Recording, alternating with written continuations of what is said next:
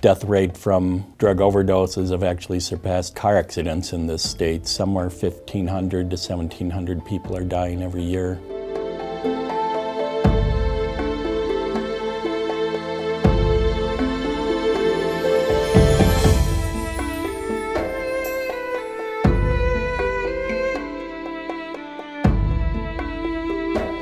Well, usually you'll see something around, maybe a, a, syringe or a spoon that shows that they've been using. Mostly they're going to look pasty and white and they're not going to be breathing. They're going to look like they fainted and they're out and they're not responsive. Oh my God! Jessica! Jessica! Robin, it looks like she overdosed. There's like an empty needle of heroin.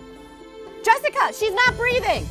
Robin, call 911 unless you breathe, the brain cells start dying pretty quickly. So it's really important to get patients breathing again, either by giving them some breaths, some rescue breaths, or getting the overdose kit going. Robin, call 911, get the kit. And the importance of calling 911 is that the medicine can wear off, so you really need to get somebody help immediately. Yes, yes, my friend's not breathing, she's not breathing. Well, the overdose kit is specifically for opiates. It uses a medication called naloxone that pushes the opiates off the receptors in the body and uh, allows them to start breathing again. A needle, there's a spoon, there's, there's, there's a lighter. I don't, she's not moving, she's not breathing.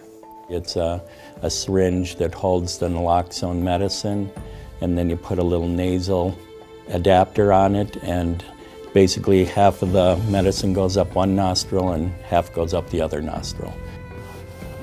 Come on, Jessica, come on. Come on, start breathing. So every kid has two full doses of the naloxone. If somebody isn't really coming around in two or three minutes to give the second dose. Come on, start breathing. You want to put them in a safe position, um, kind of rolling them over and getting them on their sides so if there's any vomit or things like that, that they won't choke on that. Come on, Jessica, start breathing. Usually within a minute or so, people will start to open their eyes and you'll see that they're making breathing movements on their own. You awake? Is she breathing? Is yeah, she breathing? she's breathing. She's when people use the kit, people come back to life. I see these overdose kits much like immunizations that uh, we want to get as many out there in the communities. It's really a life-saving opportunity. I think people, families are very happy to have that around when they're afraid that their child or young adult might overdose. And we know that people are going to relapse, but um, people do get better as long as we keep fighting for them. And uh, Many of our patients go on to live productive, very happy lives um, because of our intervention. Oh yeah, she's got a she's got a really strong pulse. You guys did a good job.